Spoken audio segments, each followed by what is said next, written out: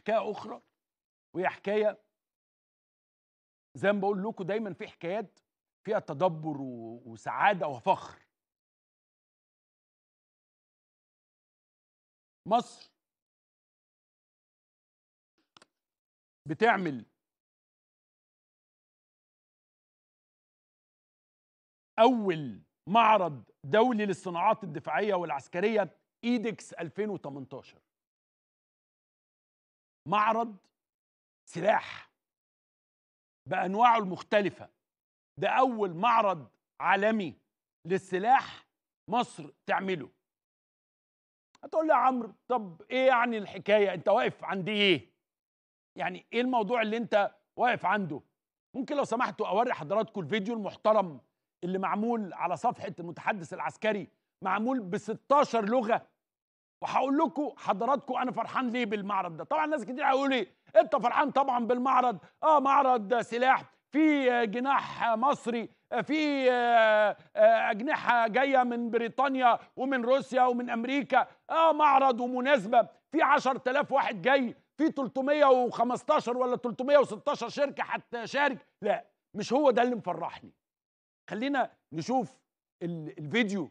وتشوف الدول 41 دولة مشاركة 316 شركة عالمية أكثر من 10000 زائر عدد كبير من ال- ال- الشركات الأسامي اللي ترن من 3 ل 5 ديسمبر. الإيدكس المصري اللي هو معرض الدولي الأول للصناعات الدفاعية والعسكرية. عمرو ليه مبسوط؟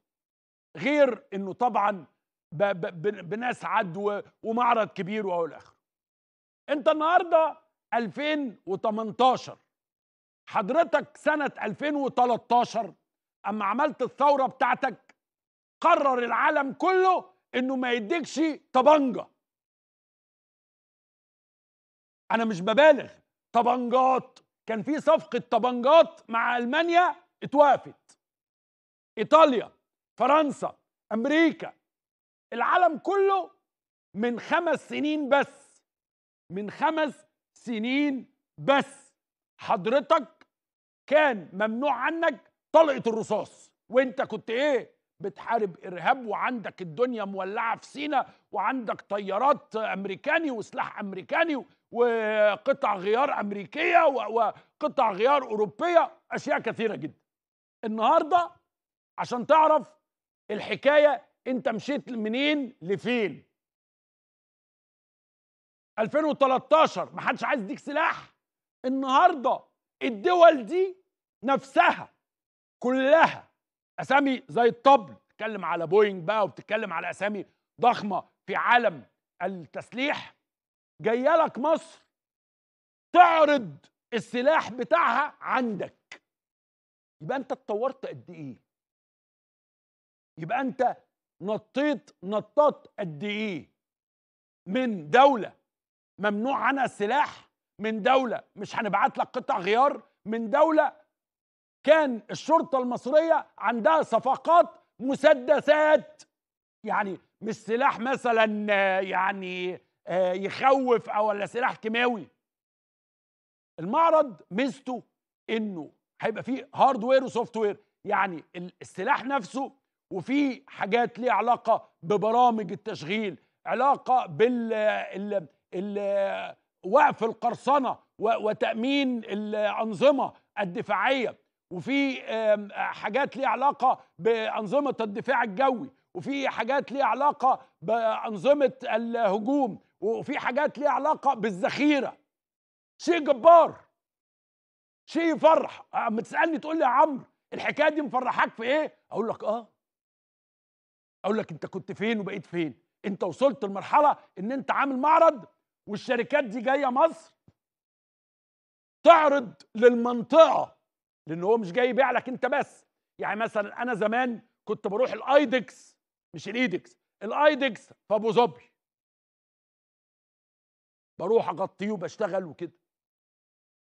كانت الشركات تبقى موجودة والمنطقة كلها تروح تشتري سلاحها من IDEX. النهارده ال EDEX إنه يجي ناس يعملوا صفقات على أرض مصر. أنا عاجبني الذخيرة دي طبعا أنا ما بفهمش في السلاح يعني.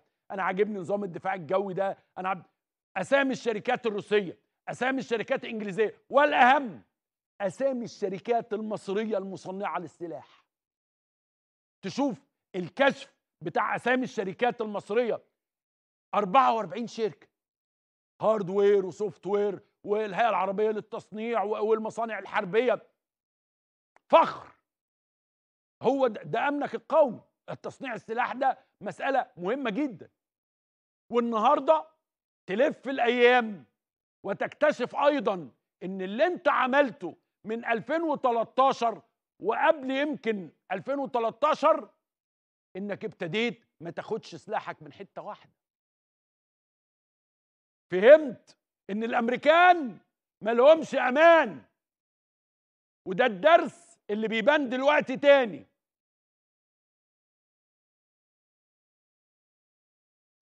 فنوعت سلاحك. الهليكوبترز اللي بتيجي لحامله الطائرات اللي انت جايبها روسي. حامله الطائرات فرنساوي. لانشات فرنساوي. سلاح رافال فرنساوي. أنظمة دفاع جوي روسي. فأنت فا يعني أنت كمان قدرت في الخمس سنين ديت في مجال وطبعا الناس اللي بتفهم في السلاح تتكلم في الموضوع ده أحسن مني ولكن بشكل سياسي قدرت في الخمس سنين دي. دلوقتي تبقى عندك انفتاح كامل على السوق. الرئيس بتاعنا بيروح أي بلد ويخش يشتري السلاح اللي هو عايزه. مش حد بيقول له لا.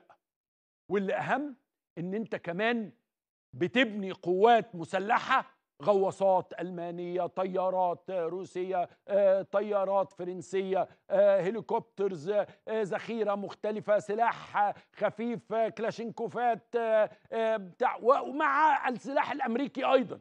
ولكن في اللحظة ديت اتعلمت الدرس. تنويع مصادر سلاح.